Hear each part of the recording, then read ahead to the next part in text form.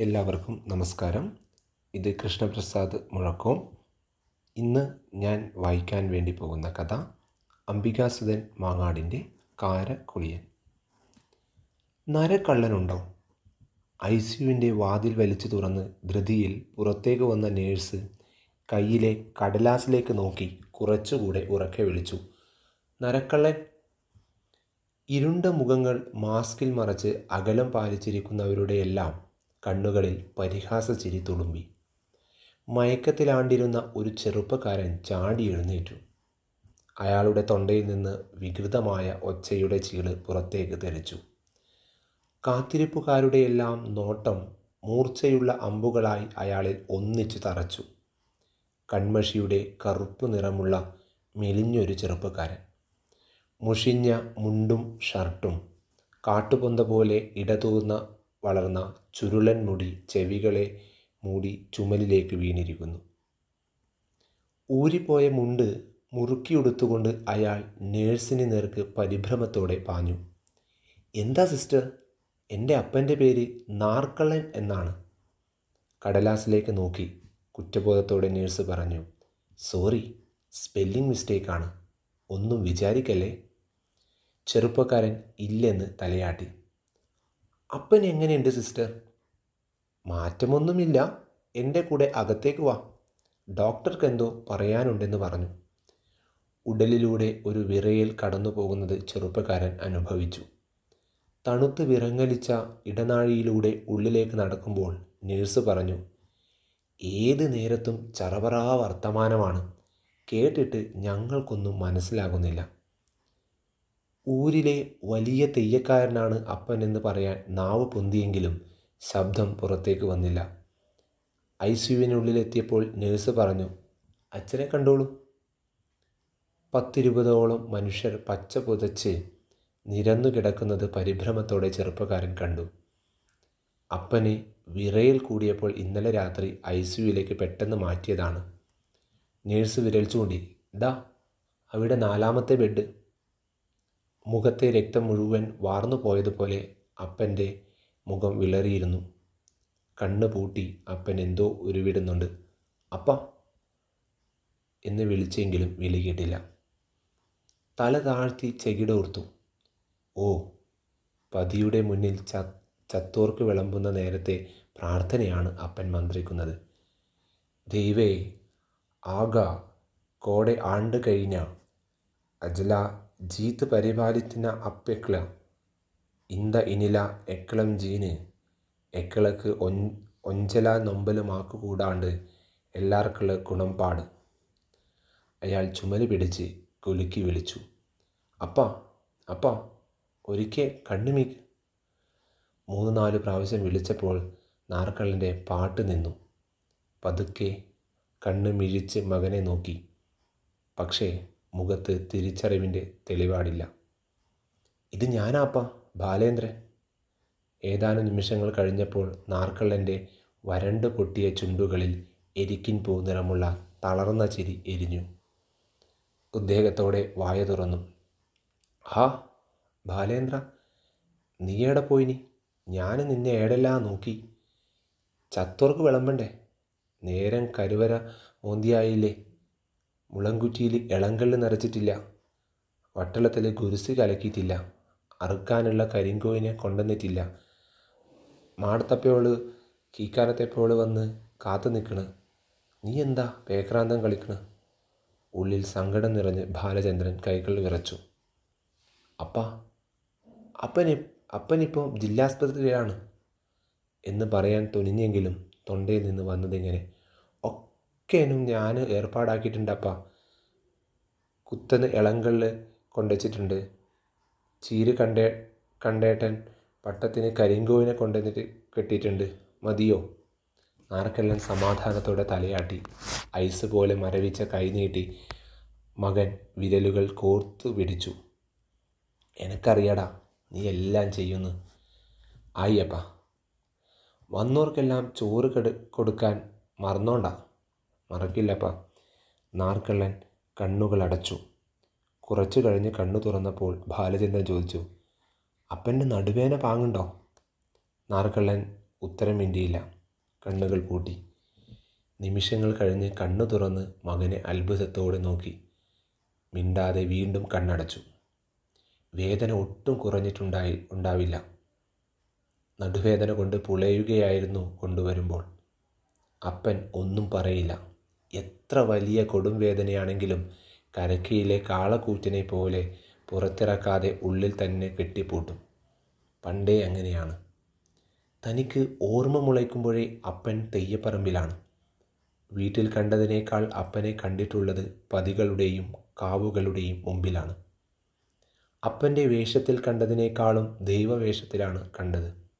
വെറും പന്ത്രണ്ട് വയസ്സിൽ കെട്ടിയ കാരക്കൊളിയനിൽ നിന്നാണ് അപ്പൻ തെയ്യ ജീവിതം തുടങ്ങുന്നത്.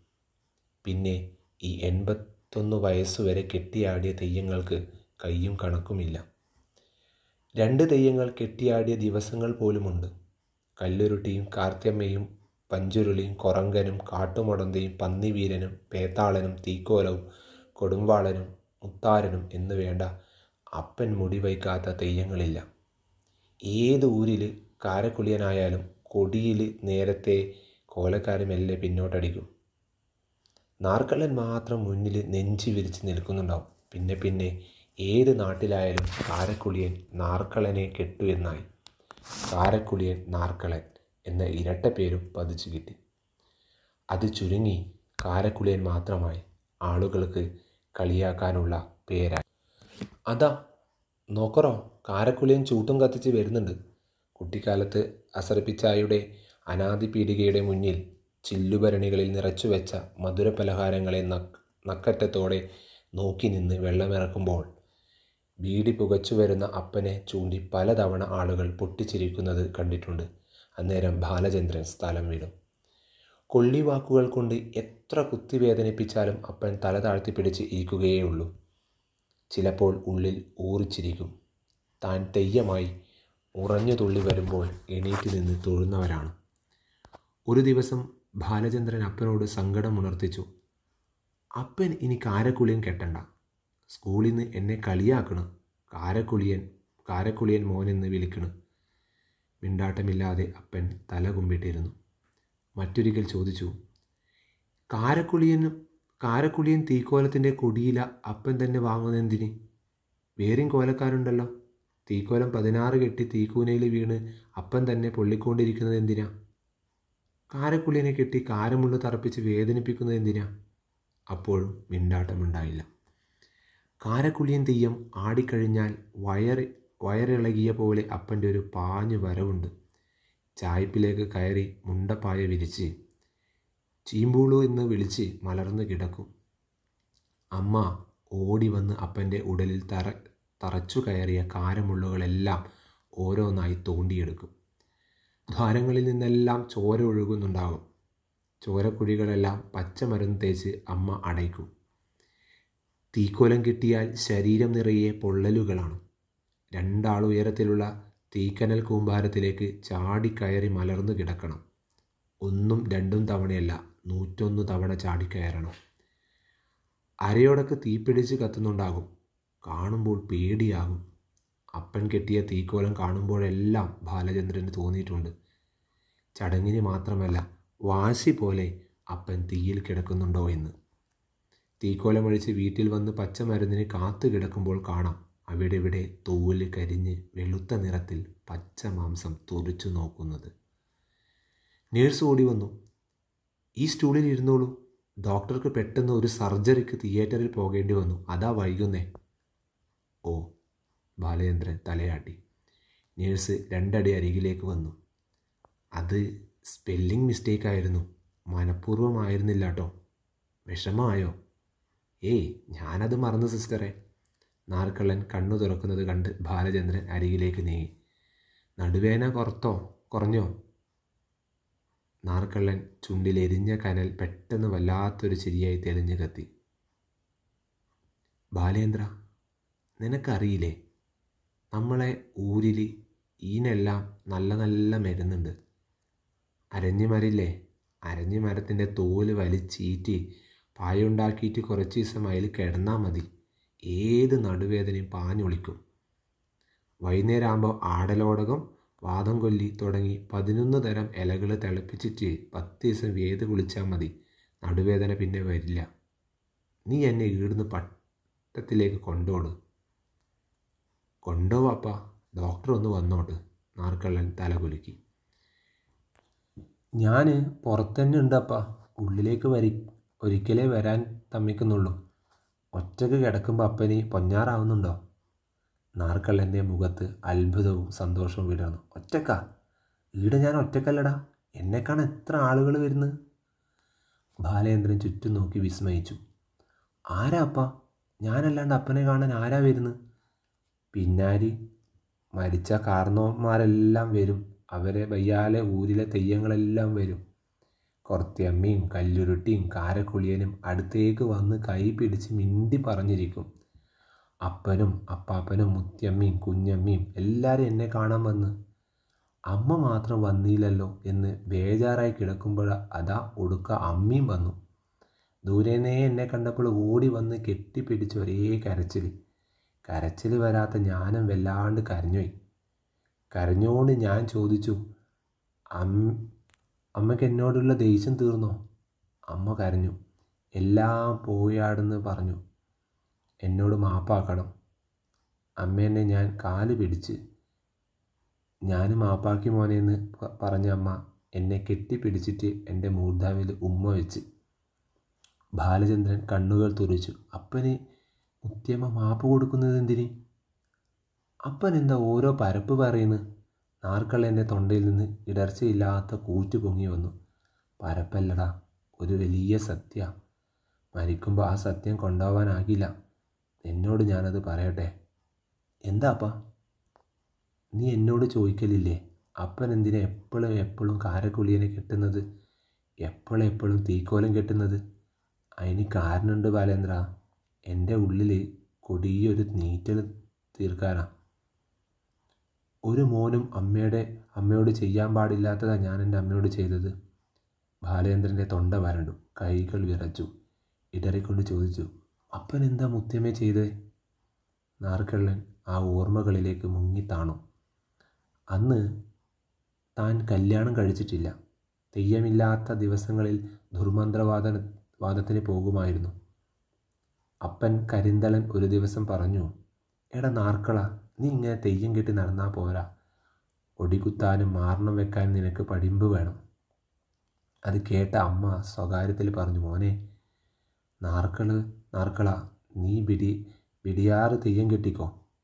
മാട്ടത്തിന് മാരണത്തിനൊന്നും നീ പോണ്ട. ആ പടിമ്പ് നിനക്ക് വേണ്ട.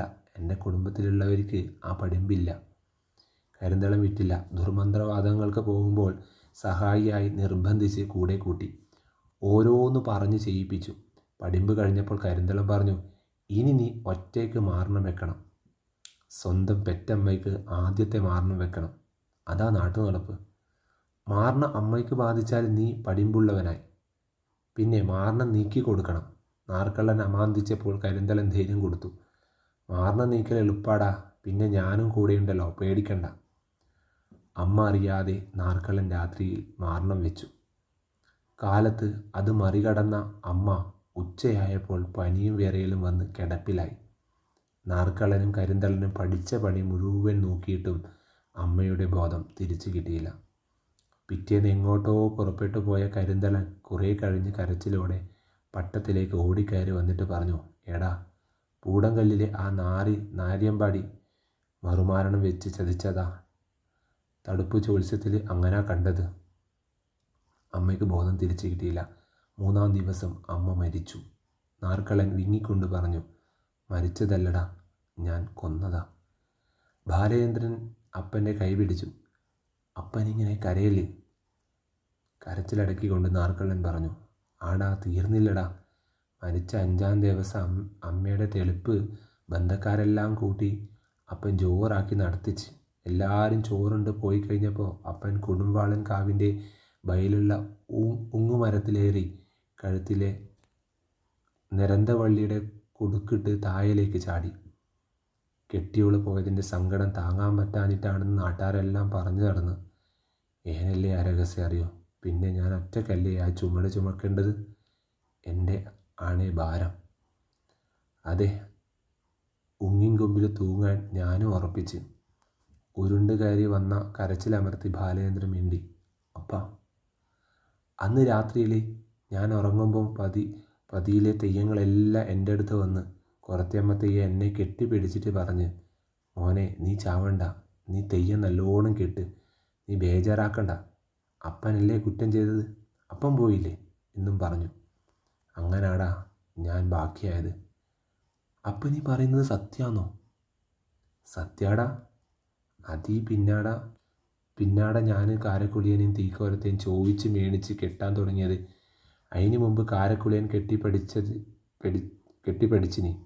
പക്ഷെ പേടിയാ എനിക്ക്. കാരമുള്ളും തീയും ഭയങ്കര പേടിയായിരുന്നു എനിക്ക്.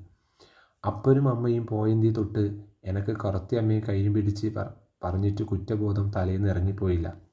ഞാനത് തീരാത്തോണ്ട കാരമുള്ളിൻ കാട്ടിൽ വീണിട്ടും മേലേരിയിൽ പൊള്ളിക്കിടന്നിട്ടുമാണ് കാരക്കുള്ളിയനാകുമ്പോൾ വേറൊരു സൗകര്യമുണ്ട്. മുഖത്ത് വലിയ മുഖപ്പാട വെക്കൂലേ? നമ്മൾ പൊട്ടിക്കരഞ്ഞാലും ആർക്കും തിരിയില്ലടാ. നാലഞ്ച് മണിക്കൂർ നേരം നമ്മളെ കരഞ്ഞ മുഖം ഒളിപ്പിച്ച് പിടി പിടിക്കാൻ പറ്റൂ. നീ കുറേ തെയ്യങ്ങൾ കെട്ടിയോനല്ലേ കാരക്കുളിയും തെയ്യം കെട്ടുമ്പോൾ അത് നിനക്ക് മനസ്സിലാവും. നാർക്കളൻ വല്ലാതെ കിതയ്ക്കാൻ തുടങ്ങി. കിതപ്പിനിടയിൽ പറഞ്ഞു ബാലേന്ദ്ര നിന്നോട് ഇത് പറഞ്ഞപ്പോൾ നല്ല ആശ്വാസമുണ്ട്. ഇനി സമാധാനമായിട്ട് എനിക്ക് മരിക്കാലോ. അപ്പന് സുഖാവും. മുത്യമ്മ വന്ന് പറഞ്ഞില്ലേ? മാപ്പ് തന്നില്ലേ? ഇനി സങ്കടപ്പെടേണ്ട കിടക്ക്. ഓ നാർക്കള്ളൻ തലയാട്ടി. പുറത്ത് വാങ്ങിച്ചു വെച്ച ബെന്നിന്റെ കാര്യം ഓർമ്മിച്ച് ബാലേന്ദ്രൻ ചോദിച്ചു അപ്പന് പൈക്കുന്നുണ്ടാ ഒരു ബൻ ഒരു ബന്ന് ചായയിൽ മുക്കി തരട്ടെ? ഒന്നും വേണ്ട. ഞാൻ കുറേ വാതൊക്കെ തിന്നിനി വയറ് നിറഞ്ഞിട്ടുണ്ട്. ബാലേന്ദ്രൻ വാ പൊളിച്ചു. വാതൊക്കെയോ? ബാലേന്ദ്രന് ഓർമ്മയായി. കാട്ടിൽ മാത്രം പടുമുള്ളു മുളച്ച് വളരുന്ന കാട്ടുകയ്പ ചെടിയിൽ വിളയുന്നതാണ് വാതക. നാട്ടിൽ കൊണ്ടുവന്ന് നട്ടാലും മുളയ്ക്കില്ല. നാട്ടുകയ്പയുടെ പത്തിരട്ടി കയ്പുണ്ടാകും. നാവിൽ വെക്കാൻ പറ്റില്ല. പണ്ട് പട്ടിണിക്കാലത്ത് പശിയടക്കാൻ ഒന്നുമില്ലാതാകുമ്പോൾ ഊരിലുള്ളവർ കാട്ടിൽ കയറി വാതക പറിച്ചു കൊണ്ടുവന്ന് കഞ്ഞി വെള്ളത്തിലിട്ട് വേവിച്ച് തിന്നതിന്റെ കഥകൾ കുട്ടിക്കാലത്ത് കേട്ടിട്ടുണ്ട്. അപ്പനേടുന്ന വാതക കിട്ടിയത്? അത് കൊടിയാളം തെയ്യം വരുമ്പോൾ കൊണ്ടുവന്നതാ. വയറ് നിറയെ തിന്നു എന്നും പറഞ്ഞു. ഞാൻ നാലഞ്ചെണ്ണം പച്ചക്ക് കടിച്ച് മുറിച്ചു തിന്നു. ബാലചന്ദ്രൻ മുഖം കയ്പ് രസത്താൽ ചുളിഞ്ഞു. കയ്പുണ്ടായിരുന്നില്ലേ കയ്പോ? കാരമുള്ളിലും തീക്കോമ്പാരത്തിലും ഇക്കണ്ട കാലം കിടന്ന് എനിക്ക് എന്ത് കൈപ്പട ഞാൻ തന്നെ ഒരു കാട്ടുവാതക്കയായിരുന്നില്ലേ എപ്പോഴും കത്തിക്കൊണ്ടിരുന്ന ഒരു തീക്കോലം. വല്ലാത്തൊരു ചിരി നാർക്കള്ളന്റെ ചുണ്ടിൽ തീക്കനൽ പോലെ ജ്വലിച്ചു. ചിരി അണഞ്ഞപ്പോൾ ഗൗരവത്തോടെ പറഞ്ഞു ബാലേന്ദ്ര എനക്കൊരാശയുണ്ട്. നീ അത് നടത്തി തരണം കയ്യൂലെന്ന് പറഞ്ഞൂടാ എന്താപ്പാ ഞാൻ ചത്താൽ നീ എന്നെ കുഴിച്ചിടുന്നതിന് മുന്നേ തെയ്യം കെട്ടിക്കണം. മറന്നൂടാ? ബാലേന്ദ്രൻ വിരണ്ടു. തെയ്യം കെട്ട് കോലക്കാരന് മരിച്ചാൽ തെയ്യത്തിന്റെ വേഷം കെട്ടിച്ച് കുഴിച്ചിടുന്ന ആചാരം നിലച്ചിട്ട് ആണ്ടുകൾ കുറേയായി. ഇപ്പോൾ കുഴിച്ചിടലുമില്ല കത്തിക്കലാണ്. നാർക്കള്ളൻ തുടർന്നു ചവ എടുക്കുന്നതിന് മുന്നേ മെനമ്പ് നടപ്പുകാരനെ വരുത്തണം. തുടി കൊട്ടാൻ പറവുട്ടികളെ വരുത്തണം. ഏതെങ്കിലും ഒരു തെയ്യത്തിന്റെ അണിയലങ്ങൾ ഒരുക്കി വെക്കണം. കാരക്കുളിയൻ അണിയലം ആയിക്കോട്ടെ. ഞരമ്പുകളിലൂടെ ഒരു മിന്നൽ പായുന്നത് ബാലചന്ദ്രൻ അനുഭവിച്ചു. കാലം മാറിയത് അപ്പൻ അറിഞ്ഞില്ലേ? ഇപ്പം ചത്തവരെ ആ തെയ്യം കെട്ടിക്കലില്ല എന്ന് പറയാൻ നാവ് പൊന്തിയെങ്കിലും പറയാനായില്ല. ചുമൽ പിടിച്ച് പറഞ്ഞു ഓ അപ്പ കാരക്കുളീനെ തന്നെ കെട്ടിക്കാം. നേഴ്സ് ഓടി വന്നു.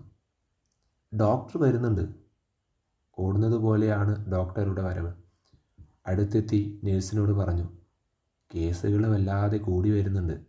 പന്ത്രണ്ട് പേരെ കൂടി ഇവിടെ അഡ്മിറ്റ് ചെയ്യണം. ചന്ദ്രനിൽ ഇറങ്ങാൻ പോകുന്ന കൂട്ടു ശരീരമൊക്കെ പൊതിഞ്ഞിട്ടാണ് ഡോക്ടറുടെ നിൽപ്പ്. നേഴ്സ് പരിഭ്രമിച്ചു. ഡോക്ടർ അതിനൊരു ബെഡ് പോലും ഒഴിവില്ലല്ലോ. ബെഡ് കൊണ്ടുവരുന്നുണ്ട്. നിലത്തിടാം. മുകളിൽ നിന്നുള്ള ഓർഡർ ഓർഡറാ. നമ്മുടെ നോട്ടക്കുറവ് കൊണ്ട് ഒരാൾക്കും ജീവൻ നഷ്ടപ്പെട്ടുകൂടാ. നേഴ്സ് തലകുലുക്കി.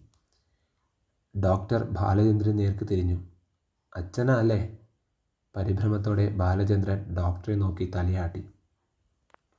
നല്ല ടെമ്പറേച്ചർ ഉള്ളതുകൊണ്ട് കാലത്ത് ടെസ്റ്റ് നടത്തിയിരുന്നു. അത് പറയാനാണ് വിളിപ്പിച്ചത്. ഇപ്പോൾ അതിന്റെ റിസൾട്ട് വന്നു. പോസിറ്റീവാണ് കണ്ടീഷൻ കുറച്ച് മോശമാണ് ന്യൂമോണിയയും ഷൂട്ട് ചെയ്തിട്ടുണ്ട്. എന്നാലും പേടിക്കണ്ട കേട്ടോ. സർക്കാർ ആശുപത്രിയാണെങ്കിലും ഇവിടെ എല്ലാ സൗകര്യവും ഉണ്ട്. ഞങ്ങൾ പരമാവധി നോക്കിക്കോളാം.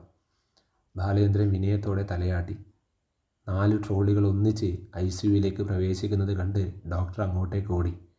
നേഴ്സ് ബാലചന്ദ്രനോട് പറഞ്ഞു പുറത്തുപോയി നല്ലവണ്ണം കൈകൾ സോപ്പിട്ട് കഴുകൂ. പോസിറ്റീവ് ആയതുകൊണ്ട് ഇനി ഇവിടെ കയറി കാണാൻ പറ്റിയെന്ന് വരില്ല. കണ്ടിട്ട് പോയിക്കോളൂ വേഗം. ഡി ഡി എം ഒ ചിലപ്പോൾ ഇങ്ങോട്ട് വരും. ബാലചന്ദ്രൻ വിളിച്ചു അപ്പാ ഞാൻ പോട്ടെ. നല്ല ഉറക്കത്തിലായിരുന്ന നാർക്കളൻ നേഴ്സ് പറഞ്ഞു ഉറങ്ങട്ടെ വിളിച്ചുണർത്തണ്ട പോയിക്കോളൂ. പിന്നെ എന്നോട് ദേഷ്യം മനസ്സിൽ വെച്ചേക്കരുത്. മനഃപൂർവമായിരുന്നില്ല കേട്ടോ. ബാലചന്ദ്രൻ നെഞ്ചിന് മേൽ കൈ പരത്തി വെച്ച് ഉള്ളിലൊന്നുമില്ലെന്ന് ആംഗ്യം കാണിച്ചു. നേഴ്സ് ഡോക്ടർ പോയ വഴിക്ക് ഓടി. രണ്ട് ട്രോളികൾ കൂടി ഉള്ളിലേക്ക് തല നീട്ടി. ട്രോളികൾക്കിടയിലൂടെ ബാലചന്ദ്രൻ പുറത്തേക്കു നടന്നു. പിന്നെ രണ്ടു ദിവസം അപ്പനെ കാണാനേ കിട്ടിയില്ല. അന്വേഷിക്കുമ്പോഴൊക്കെ അസുഖം കുറഞ്ഞിട്ടില്ലെന്ന വിവരമാണ് കിട്ടിക്കൊണ്ടിരുന്നത്. മൂന്നാം ദിവസം കാലത്ത് ചിത്രനെ കുറേ നേരം താഴെ ഗേറ്റിൽ കാത്തുനിന്നു അവൻ ഊരിൽ നിന്ന് കൊണ്ടുവന്ന ഭാരമുള്ള ബാഗ് ചുമലിലേറ്റി ആറാം നിലയിൽ വിയർത്ത് കുളിച്ച് എത്തിയപ്പോൾ സെക്യൂരിറ്റി ഓടി വന്നു. ഇയാൾ എവിടെയായിരുന്നു? ഞാൻ എത്ര നേരമായി അന്വേഷിക്കുന്നു? ബാലചന്ദ്രൻ പരിഭ്രമിച്ചു. എന്താ സാറേ? കയ്യിലിരുന്ന കടലാസ കഷ്ണത്തിലേക്ക് നോക്കി അയാൾ സഹതാപത്തോടെ പറഞ്ഞു നാർക്കള്ളൻ മരിച്ചു. ഓ ബാലചന്ദ്രൻ വികാര വിക്ഷോഭങ്ങളില്ലാതെ തലയാട്ടി തൊട്ടടുത്ത് കണ്ട കസേരയിൽ പടിഞ്ഞിരുന്നു. രണ്ട് മിനിറ്റ് കഴിഞ്ഞ് സെക്യൂരിറ്റി വീണ്ടും വന്നു. ഇവിടെ ഇരുന്നാൽ മതിയോ? പോസിറ്റീവ് ആയതുകൊണ്ട് ബോഡി വേഗം സംസ്ഥാനത്തിലേക്ക് കൊണ്ടുപോകും. അവസാനമായി ഒന്ന് കാണണ്ടേ?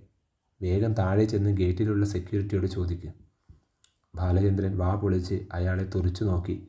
ബാഗ് ചുമലിലിട്ട് പതുക്കെ എഴുന്നേറ്റു. സ്റ്റെപ്പുകൾ ഇറങ്ങാൻ തുടങ്ങി. അപ്പനെ കാണുന്നതിന് മുൻപ് ദഹിപ്പിക്കാൻ കൊണ്ടുപോയി കളയുമോ? ബാലേന്ദ്രൻ പടികൾ ഓടിയിറങ്ങാൻ തുടങ്ങി. താഴെ എത്തിയപ്പോൾ തല കറങ്ങുന്നുണ്ടായിരുന്നു. ചുമര് പിടിച്ചു പിടിച്ച് നടന്ന് പുറത്തെത്തി.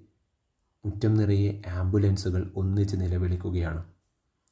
കടലാസുകൾ കൂട്ടിപ്പിടിച്ച് നിന്ന ഉദ്യോഗസ്ഥനരിലേക്ക് ബാലചന്ദ്രൻ നടന്നു.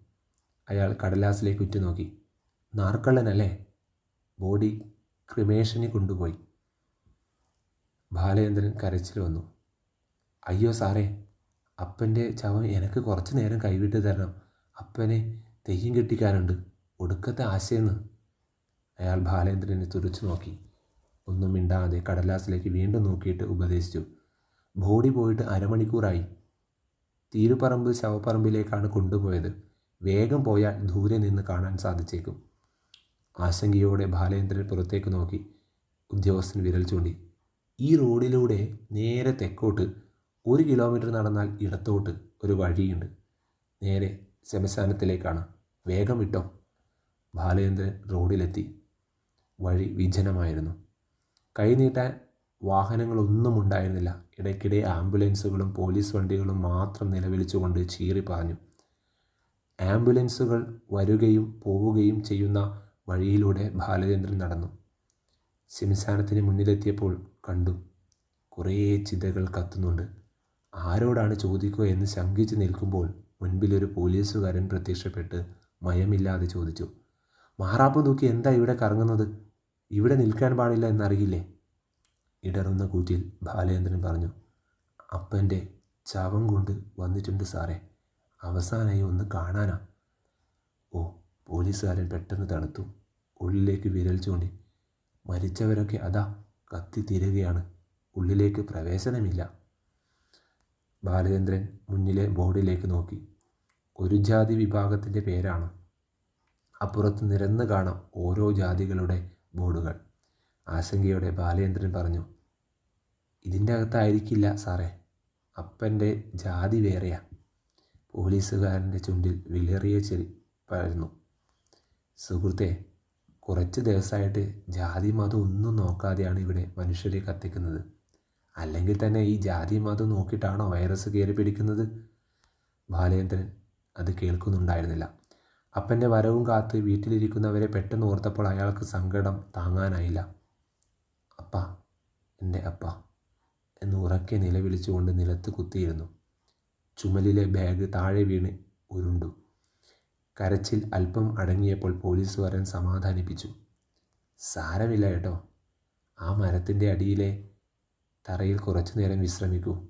ഇങ്ങനെ വെയിലത്തിരിക്കണ്ട. കുടിക്കാൻ ലേശം വെള്ളം തരട്ടെ. വേണ്ടെന്ന് തലയാട്ടി ബാഗ് നെഞ്ചോട് ചേർത്ത് പിടിച്ച് ബാലചന്ദ്രൻ മരത്തണലിൽ ചെന്നിരുന്നു. അപ്പോഴും ആംബുലൻസുകൾ വരുന്നത് കാണാമായിരുന്നു. നേരം കുറേയായപ്പോൾ എഴുന്നേറ്റ് പോലീസുകാരനെ നോക്കി. അവിടെയെങ്ങും കാണാനുണ്ടായിരുന്നില്ല. പിന്നെ ബാഗും തൂക്കി എങ്ങെന്നില്ലാതെ നടന്നു. നടന്ന് നടന്ന് ബാലയത്തിന് എത്തിയത് ഒരു പുഴക്കരയിൽ. പുഴയിൽ നിന്നും പറഞ്ഞുകൂടാ. ചോര ഞരമ്പ് പോലെ മെലിഞ്ഞ ഒരു അഴുക്കുചാൽ വഴിമുട്ടിയതുപോലെ നടത്തു നിന്നു. ഒരു കീരി വെള്ളം കുടിക്കുന്നത് കണ്ടപ്പോൾ ബാലചന്ദ്രൻ ദാഹിച്ചു. ഇന്നലെ ഉച്ചയ്ക്ക് ശേഷം ഒന്നും കഴിച്ചിട്ടില്ലെന്ന് ഓർമ്മ വന്നു. ചാലിന്റെ വിളുമ്പിൽ കുത്തിയിരുന്ന് കൈക്കുമ്പിളിൽ നിറയെ കോരിയെടുത്തു. ചുണ്ടോടെടുത്തപ്പോൾ മനസ്സിലായി നാറുന്ന കറുത്ത വെള്ളമാണ്. പക്ഷേ കളയാനായില്ല. രണ്ട് മൂന്ന് പ്രാവശ്യം കൂടി കോരി കുടിച്ചു. എഴുന്നേറ്റ് പുഴയിറമ്പിലൂടെ കണ്ടൽക്കാട്ടിലൂടെ കാട്ടുപൊന്തകൾക്കിടയിലൂടെ എങ്ങോട്ടെന്നറിയാതെ നടന്നു. ചെമ്പോത്തുകളും കീരികളും പാമ്പുകളും ഇടയ്ക്കിടെ പായുന്നുണ്ടായിരുന്നു. പക്ഷേ ഒരു മനുഷ്യന്റെ പൊടി പോലും എങ്ങും കാണാനുണ്ടായിരുന്നില്ല. പെട്ടെന്ന് ഒരു കാഴ്ച കണ്ട് ബാലേന്ദ്രൻ നിശ്ചലനായി. വിശ്വസിക്കാനായില്ല. ഒരു ഭ്രാന്തൻ കണ്ടൽ മരത്തിന്റെ മരത്തിൽ ചുറ്റിപ്പിടിച്ചു കയറിയ വള്ളിൽ ചെടിയിൽ കുറേ വാതകകൾ കായ്ച്ചു തൂങ്ങി നിൽക്കുന്നു. ഇളങ്കാറ്റിൽ മുള്ളു നിറഞ്ഞ ഉടലുകൾ പതുക്കെ ആടുന്നുണ്ട്. കാട്ടിൽ നിന്ന് പുഴയിലൂടെ ഒഴുകി വന്ന് പടുമുള്ള മുളച്ചതാകും. ഒരെണ്ണം പറിച്ചെടുത്ത് കടിച്ചു നോക്കി. കൈപ്പക്കയല്ല. കൈപ്പക്കയുടെ പത്തിരട്ടി കയ്പുണ്ട്. വാതക്ക തന്നെ. കയ്പ് നോക്കാതെ കറുമുറ മുറി കടിച്ചു തിന്നു. നല്ല വിശപ്പുണ്ട്. രണ്ട് മൂന്നെണ്ണം കൂടി പറിച്ചു തിന്നു. കുടൽമാല ചുഴലിക്കാറ്റ് പോലെ ഇളകി മറിഞ്ഞ് പിത്തരസത്തോട് തൊണ്ടയോളം പൊങ്ങി വന്നപ്പോൾ കഴിപ്പ് നിർത്തി. കയ്പ് നിറഞ്ഞ വല്ലാത്തൊരു ചിരിയോടെ ചുറ്റും നോക്കി. അപ്പോഴതാ മറ്റൊരു അത്ഭുത കാഴ്ച. ഭ്രാന്തൻ കണ്ടലിന്റെ ചുവട്ടിൽ ഒരു കാരമുൾക്കാട്. പച്ചിലകൾക്കിടയിൽ ഉന്തി നിൽക്കുന്ന കൂർത്ത കാരമുള്ളുകൾ ബാലചന്ദ്രൻ അതിശയിച്ചു. ഒന്നല്ല ചുറ്റുമുള്ള കാട്ടുപൊന്തകളെല്ലാം കാരമുൾ ചെടികളാണ്. പെട്ടെന്ന് ബോധോദയമുണ്ടായ പോലെ ബാലചന്ദ്രൻ കാരക്കാട്ടിന് മുന്നിൽ മുട്ടുകുത്തിയിരുന്നു.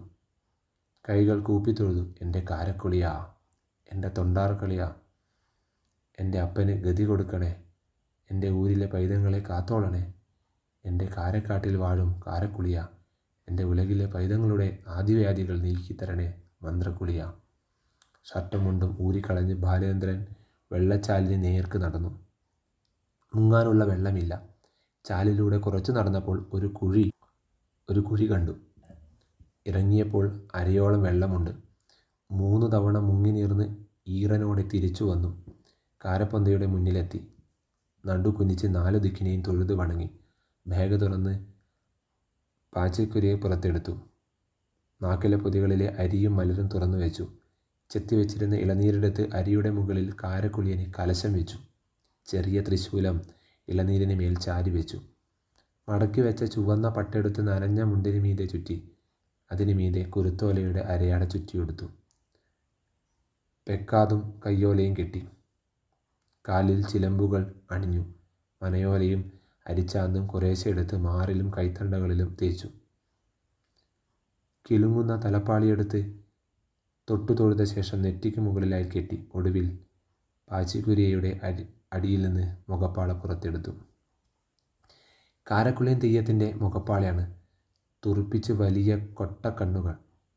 പോത്തൻ പല്ലുകൾക്ക് രണ്ടറ്റത്തും വളഞ്ഞു നീണ്ട ഓരോ കോമ്പല്ലുകൾ ബാലചന്ദ്രൻ മുഖപ്പാള മുഖത്ത് വെച്ച് കെട്ടിമുറുക്കി. മുഖം മറഞ്ഞപ്പോൾ അപ്പൻ പറഞ്ഞത് നേരാണല്ലോ എന്ന് തോന്നി. ഒരാൾക്ക് ഒറ്റയ്ക്ക് ഇരുന്ന് കരയാൻ ഇതിനകത്ത് വേണ്ടുവോളം സ്ഥലമുണ്ട്.